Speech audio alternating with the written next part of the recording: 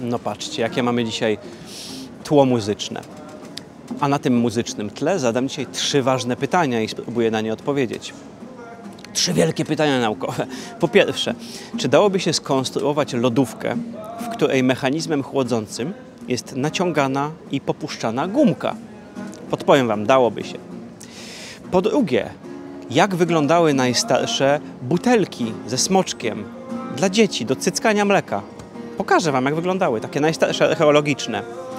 A na koniec, jak ptaki to robią, że potrafią lecieć, lecieć, lecieć i wylądować na gałęzi? Jaka jest mechanika lądowania ptaków na gałęzi? Bomba, prawda? Bierzemy się do roboty.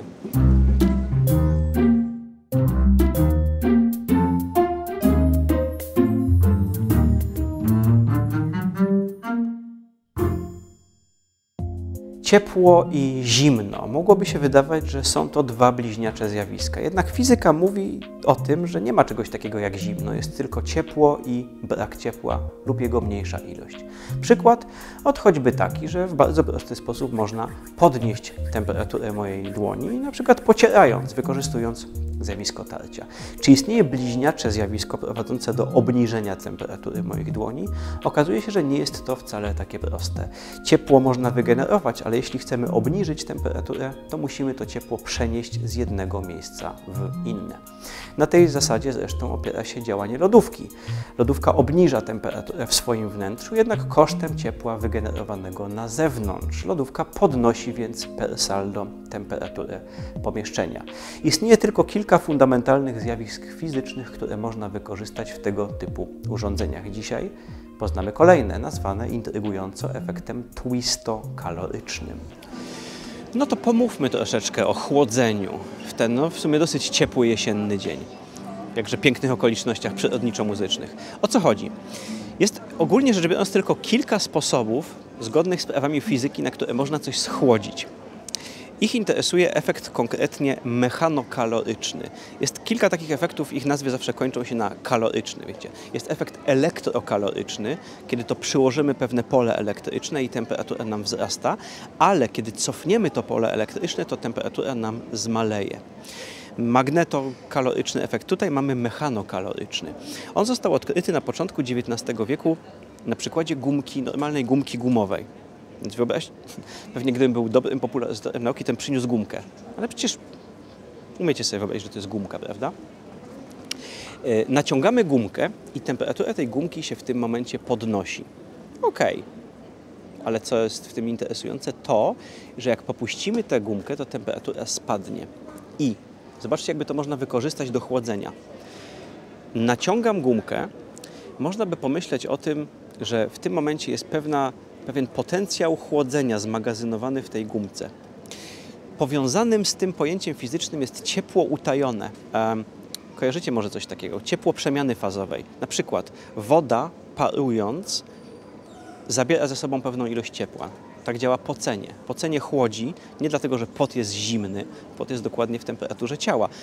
Pocenie chłodzi dlatego, że w momencie parowania pewna ilość ciepła zostaje zabrana ciepło utajone to się nazywa. No tam jest utajone w tej substancji. No więc w tym momencie w tej naszej gumce można by tak powiedzieć, jest utajona pewna ilość ciepła. I teraz co się dzieje?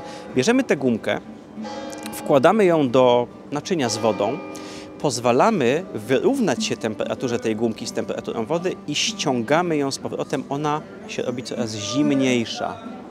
Ochłodziliśmy naszą wodę. Oni idą dalej, wykorzystują efekt jeszcze dalej, jakby oparty na tym samym, ale poszli jeszcze dalej i mają coś, co nazywają nie tyle efektem e, mechanokalorycznym, są bardziej konkretni, twistokaloryczny. Efekt twistokaloryczny, e, twist od skręcania, czyli efekt skręceniowo-kaloryczny. Na czym rzecz polega? O, pokażę Wam to na przykładzie rzeczywistym. To jest mój, tak, mikrofon. Kiedy skręcamy gumkę albo jakikolwiek przewód, pojawiają się takie o, pętle. Cyk, jedna, druga. Jakbym dalej skręcał, całe by to się zamieniło w takie pętle. I oni to właśnie robili. Okazuje się, że oprócz naciągania skręcanie, gumki, testowali też żyłkę nylonową, żyłkę polietylenową. Dodawanie kolejnych skrętów prowadzi do tego samego, czyli magazynowania w tym pewnej ilości ciepła do uzyskania. O, tutaj mamy jak wygląda taka kawałek gumy, to jest normalna wulkanizowana guma, skręcana coraz mocniej i mocniej. W pewnym momencie tu się pojawiają te skręcenia, potem na nich się pojawiają takie dodatkowe, czyli skręcenia same się jeszcze na siebie skręcają. Tu mamy pokazane jak to wygląda na żyłce wędkarskiej. Żyłka wędkarska skręcona, super skręcona i z tego można, słuchajcie, uzyskiwać ciepło. Tu już mamy schemat fizyczny lodówki. Lodówka skręceniowa. Tak to nazywają, lodówką skręceniową. Więc tak, zaczynamy w tym miejscu. Co to jest? Ilość skrętów w pełnych obrotach na centymetr, czyli będziemy mocno to dosyć skręcać. Słuchajcie, dochodzimy aż do 30 skręceń na 1 centymetr. Zaczynamy od zera. Zaczynamy skręcać naszą gumkę. W tym momencie jej temperatura się podnosi. To jest temperatura względem, powiedzmy sobie, o, pokojowej. Podnosi się, podnosi się, podnosi się. Patrzcie, prawie 15 stopni Celsjusza. Gumka o tyle nam się podgrzała, no ale skręcona jest 30 razy na centymetr. Nieskręcona potem się robi częściowo, skręcona potem jest w pełni skręcona, a potem jest super skręcona, czyli są skręty na skrętach. Ok. Gdybyśmy w tym momencie odkręcili tę gumkę, to jej temperatura wróciłaby do pokojowej, ale my jesteśmy sprytni. My czekamy, aż ta ciepła gumka spadnie do temperatury pokojowej, aż się wyrówna jej temperatura z pokojową i w tym momencie ją odkręcamy. Patrzcie, cyk, cyk, cyk, cyk, cyk, cyk, cyk, cyk, cyk, cyk, cyk. Maszyna nam powstała, spadło do minus 10. Czyli patrzcie, z 13-14 stopni podgrzania uzyskaliśmy z powrotem 10. To jest świetna wydajność. Oni to zestawiają z wydajnością normalnej e, sprężarki w lodówce i to bywa lepsze od sprężarki. E, z czego to w ogóle wynika, to jest ciekawe. Co ciekawe, nie wiedzą, każdy materiał działa troszeczkę inaczej. Dla przykładu żyłki polietylenowej, oni przypuszczają, że wewnątrz tej żyłki te włókna polietylenowe tam dochodzi do czegoś ala przemiany fazowej. Zmienia się układ tych włókienek względem siebie, czyli coś ala przemiana fazowa. Tak czy inaczej, gdzieś tam w środku ta energia zostaje zmagazynowana i może zostać oddana, albo jest oddana i może zostać zmagazynowana w tej we w te. To jest taki pojemnik cieplny w środku. Ok, działa. I zrobili taki prototyp mikrolodóweczki yy, oparty na włóknie yy, metalicznym, ale to ta sama zasada, też jest skręcane. I zrobili taką małą lodóweczkę, yy, która przepływowo chłodzi wodę. Czyli mamy jakiś tam cylinder, w środku jest ten drut, może zostać skręcony, rozkręcony. I działa to w ten sposób, że skręcają go, poczekają aż, poczekają, aż się wyrówna do temperatury wody, potem jest woda przepuszczana w momencie odkręcania z prędkością 0,05 ml na sekundę. Czyli to tam sobie kapie, powiedzmy sobie, tak, ale jest schłodzone do 10 stopni Celsjusza, słuchajcie. Bardzo fajny sposób skręcenia Yy, schłodzenia poprzez skręcenie, prawda? Ja nie jestem eksperymentalnikiem. Jakbym był, to bym pewnie tutaj zrobił na waszych oczach, ale nie umiem. Może wy umiecie, zróbcie coś takiego. Zobaczcie w domu, czy wam się uda coś takiego zrobić. Może ktoś z was jest na tyle szczwany, że uda się to odtworzyć. Lodówka skręceniowa, proszę państwa. Technologia jutra. Pośród wielu pytań, którymi zajmują się archeolodzy, jest też to o ludzką dietę. Co jedli nasi przodkowie? I mamy wiele fascynujących dowodów archeologicznych informujących nas o tym, co oni jedli, w jaki sposób przyrządzali swoje posiłki, a nawet czym je przyprawiali. Dużo trudniej jest jednak orzec, kto jadł co. Przykładowo, spośród całego znaleziska i całej populacji, która żyła w tym miejscu, ciężko jest wskazać, które posiłki jedli dorośli, które starcy, a które choćby dzieci. Jest też interesujące pytanie, na jakim etapie ewolucji człowieka pojawiło się coś, co znamy z dnia dzisiejszego, a mianowicie dokarmianie niemowląt mlekiem zwierzęcym. Okazuje się, że na to pytanie można próbować odpowiedzieć, analizując interesujące naczynia znalezione m.in. na terenie dzisiejszych Niemiec.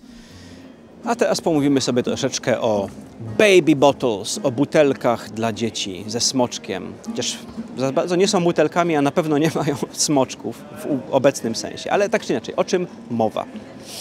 W różnego rodzaju wykopaliskach, nawet sprzed 7,5 tysiąca lat, czyli no głęboka epoka brązu, znajduje się takie naczynia na płyn, ewidentnie na płyn z takimi końcówkami z maleńkim otworem. Maleńkim otworem, czyli takie że kapie z niego, ale nie służy to do nalewania.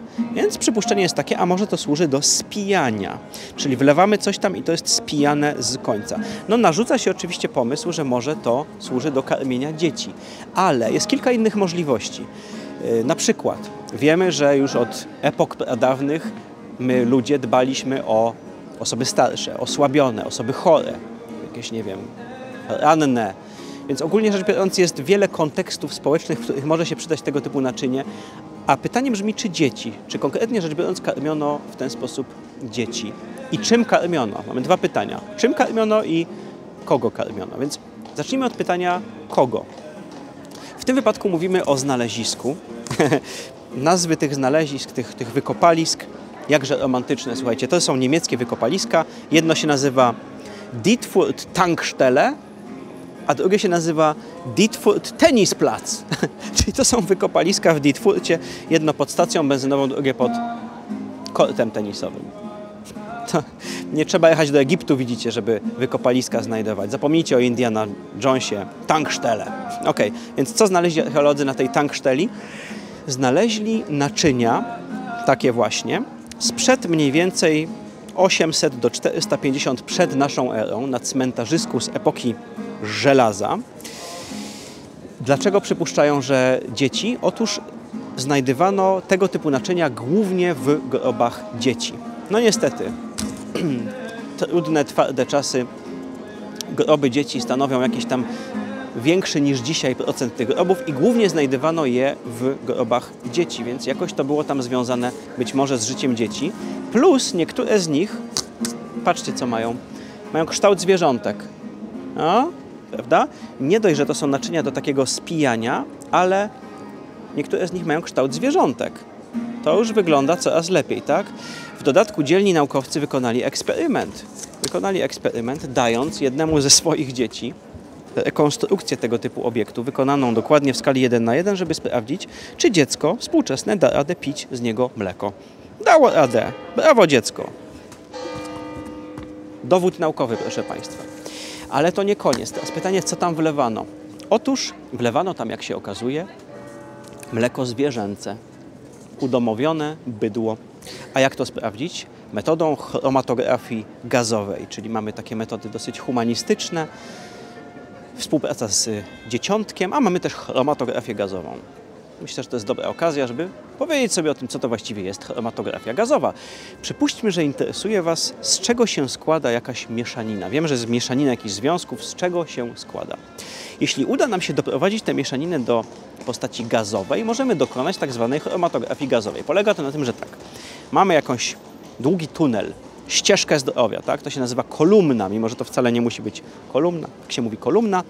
Mamy taki długi tunel i przepuszczamy przez niego ten gaz, który chcemy zbadać. I ten tunel jest tak od wewnątrz pokryty chemicznie, jest tak skonstruowany, aby różne związki chemiczne w tym gazie przebywały ten tunel wolniej lub szybciej, aby były bardziej czy mniej spowalniane na tej trasie. I to, co się mierzy, to czas. Po prostu czas retencji to się nazywa. Wykresy z chromatografu gazowego są wyskalowane po prostu w minutach, słuchajcie. 10 minut, 20, 30, czyli stoimy na końcu tego tunelu ze stoperem i mierzymy, co tam z niego wypada. W 12 minucie, 14, 16, 18. W tym wypadku wypadają związki chemiczne o coraz większej masie. To są jakieś składniki tłuszczów zwierzęcych. Konkretnie to są chyba jakieś kwasy karboksylowe o coraz dłuższych łańcuchach. Krótko mówiąc, zostało na tej podstawie zidentyfikowane, że tak, rzeczywiście umieszczono tam również tłuszcze zwierzęce, czyli no, dwie bardzo ważne rzeczy. Po pierwsze wiemy, że na terenie ówczesnych, y, obecnych Niemiec y, 3000 lat temu podkarmiano dzieci mlekiem. W dodatku wiemy, że podkarmiano mlekiem zwierzęcym. No i tyle w sumie, tak? Nie wiem właściwie czemu ten artykuł jakoś tak y, mi się spodobał. Może to połączenie tych metod, dzieciątko i chromatografia gazowa. Może coś tutaj się do miększej części mojej duszy, wiecie, po tej wojnie nuklearnej, może jakoś postanowiłem coś miększego tutaj, milszego pokazać. No nie wiem, ale w tych okolicznościach przyrody wszystko jedno. Czytamy naukę.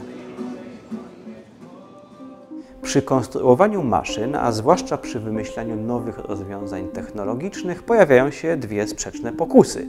Jedna jest taka, by naśladować świat przyrody, a druga taka, by poza niego wykroczyć. Przykładem na doskonałe zastosowanie tej pierwszej tendencji są stworzenia morskie, którymi inspirujemy się jeszcze do dzisiaj. Badamy ich kształt, szukając najlepszych form aerodynamicznych, ale także inspirujemy się powierzchnią ich ciała, na przykład szyjąc stroje dla pływaków. Z drugiej strony wiele najlepszych wynalazków ludzkości nie ma żadnego odpowiednika w świecie przyrody, jak choćby koło. Koło na osi, które nigdy nie wyewoluowało. Tego typu problemy pojawiają się w każdej dziedzinie inżynierii i wynalazczości. A dzisiaj opowiem o bardzo szczególnym takim przypadku, a mianowicie o podchodzeniu do lądowania maszyn latających. A na koniec o ptakach, jak lądują. Z dwóch powodów jest to badane. Oczywiście zoologicznych, wiadomo, chcemy wiedzieć, jak ptaki lądują, ale z powodów technologicznych. Oni mówią o zastosowaniach tego przy budowaniu maszyn latających, które nie będą lądowały tylko i wyłącznie na płaskiej powierzchni, jak takie typowe drony, ale co by było, gdyby miały łapki i potrafiły na przykład na czymś takim wylądować. Otóż to nie jest łatwe, to wcale nie jest łatwe.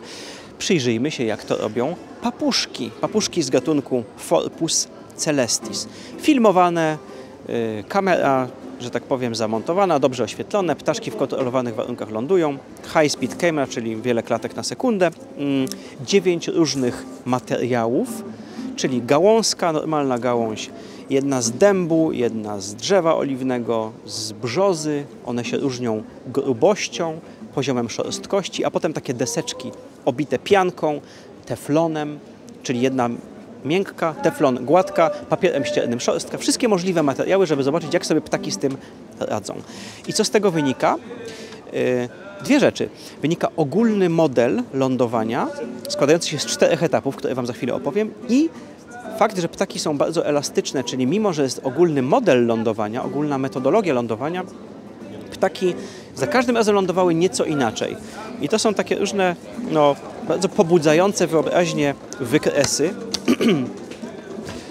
jak na przykład te dwa, pokazujące, że jakieś tam dwa parametry, powiedzmy sobie kąt rozwarcia stopy ptasiej w momencie przyłożenia, inny zależnie od tego, z jakiego materiału wykonana jest żertka. A tutaj mamy siłę, y, siłę ścisku, tak? siłę ścisku stopy, tam y, maksymalną siłę ścisku stopy, inna dla każdego materiału, czyli ptak nawet mimo, że wcześniej nigdy nie widział gąbki ani teflonu, dopasowuje parametry tego uchwytu do materiału. No ale okej, okay. ale jak wygląda taki ogólny model lądowania? On się składa z czterech etapów. Ja tu sobie otworzę te cztery etapy i Wam pokażę. Na tej oto łyżeczce. Etap pierwszy na powietrzny, aerial. Etap powietrzny to jest etap podejścia, czyli ptak podchodzi do lądowania i zaczyna machać skrzydłami, wyhamowując, żeby to uderzenie było jak najsłabsze.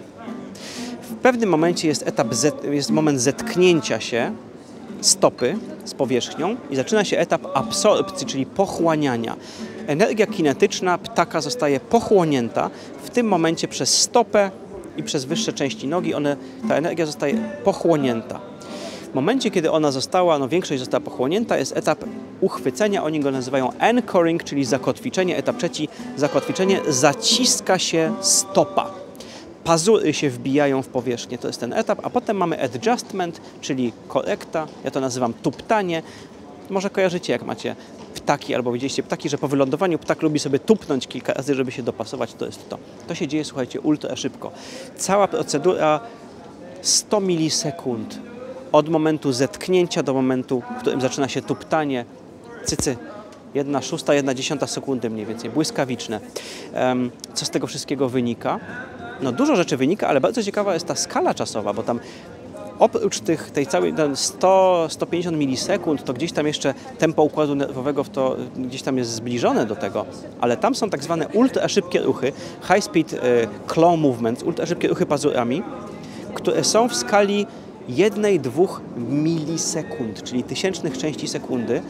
Jakiego typu to są ruchy? Mamy powierzchnię tej żertki widzianej na, na zbliżeniu i mamy pazur, który zaczyna w momencie uchwycenia tej żarówki zaczyna przejeżdżać po tej powierzchni. Okazuje się, że ptak w momencie, kiedy jego pazur zaczyna się przesuwać po tej powierzchni, on reaguje na tempo gań tego pazura, to są milisekundy, dociskając mocniej lub słabiej. Jest taki, jest taki ultra szybki docisk. Jeżeli jest szorstka powierzchnia, to on się zakotwicza w którejś z tych, e, w którejś z tych wypustek. Jedna, dwie milisekundy. Dlaczego o tym mówię? Bo to jest tempo reakcji, które nie ma szansy się w ogóle otrzeć o ośrodkowy układ nerwowy. Nie ma takiej możliwości. To jest forma inteligencji, bo to jest, to jest inteligentne reagowanie na zmieniające się warunki, ale to jest inteligencja zakodowana w łapach. To nie jest inteligencja układu nerwowego, to jest inteligencja kinestetyczna się czasami mówi. Tak jak sportowcy, wyćwiczeni sportowcy po latach mają pewne reakcje, ale też na przykład dopasowują, nie wiem, palce do jakiegoś uchwytu, wspinacze skałkowi, tak? Coś tam się zaczyna wymykać spod palca, jest korekta w tym momencie, to nie dzieje się tutaj. To się dzieje tutaj. Więc tutaj bardzo ważna lekcja i ona jest już stosowana we współczesnej robotyce, że nie wszystko da się obliczyć. Mm, część tej inteligencji, część tej aktywności musi być zakodowana w materiałach, z których to jest wykonane. To jest genialnie interesujące. Jak oglądacie na przykład te roboty biegające z e, Boston Dynamics, taka, taka słynna seria robotów, piękna, inteligentna ruchliwość, dużo część tego jest zakodowana właśnie na poziomie czysto mechanicznym, to jest taka inteligencja mechaniczna. Więc kolejny przyczynek do tego, jak konstruować roboty. Oczywiście moc obliczeniowa, oczywiście modele i tak dalej, ale część tej inteligencji trzeba będzie zakodować w tych łapach, bo to się musi tak szybko dziać, to się musi dziać w ciągu milisekundy, tam na miejscu. Fajne, prawda? Ciekawe. No i tyle. I tyle. No cóż mogę Wam więc jeszcze powiedzieć? Ja siadam, odkładam artykuły na bok, może sobie muzyki posłucham dopiję kawkę, odmeldowuję się. Cześć i czołem, pa.